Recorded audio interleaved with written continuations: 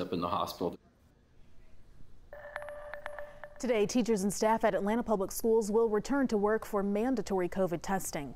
This is one of the safety measures the district has put in place in the hopes of bringing kids back to the classroom next week. Right now, APS students are set to learn virtually tomorrow through the end of the week at least. The plan right now is to bring students back to the classroom Monday, January 10th. The district is encouraging students to get tested and offering drive-up vaccination clinics even to students and staff. That'll run Saturday from 10 a.m. to 2. Students in Fulton, DeKalb, and Rockdale counties will also have online-only classes starting tomorrow, but some colleges in and around Atlanta are also pushing back in-person learning because of these rising cases. We have all that information and even more about school districts' COVID protocols all in one section for you on our website. Just head over to 11